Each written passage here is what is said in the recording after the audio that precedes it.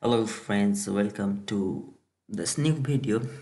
Tan 20 degree plus 4 sine 20 degree is equals to root 3 uh, this problem is related to trigonometry here is our LHS and this is tan 20 plus 4 sine 20 tan 20 we know that tan theta is equals to sine theta by cos theta. Here theta is equals to 20 degree. Then we can write sine 20 by cos 20 plus 4 sine 20 as it is. And in the next row uh, by taking LCM that sine 20 plus 4 sine 20 into cos 20 and LCM is cos 20 now uh, we can write there sine 20 as it is plus 4 is equals to 2 into 2 uh, and then sine 20 cos 20 as it is and uh, by sine sorry cos 20 as it is and the next line there is sine 20 degree plus, uh, 2 sine 220 degree. We know 2 sine a into cos a is equals to sine 2a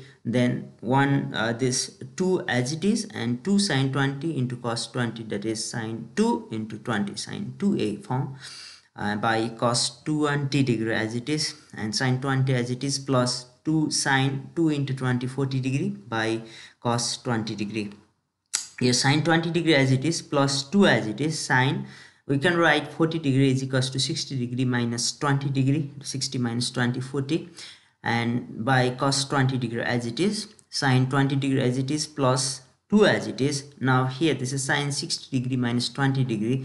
This is in the form of sine a minus b and we have formula sine a minus b is equals to sine a cos b minus cos b sine a. So here a is equals to 60 degree b is equals to 20 degree. Then we can write sine 60 cos 20 minus cos 60 sine 20 degree. That is the formula of sine a minus b by cos 20 degree as it is.